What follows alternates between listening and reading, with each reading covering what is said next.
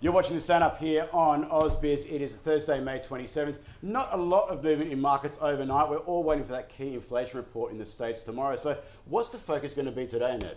Well, in macro land, it, at 11.30 we get CapEx. Business investment is the last piece of the puzzle to join the recovery. Joe Masters, EY, is going to run through, through the report, so stay tuned for that.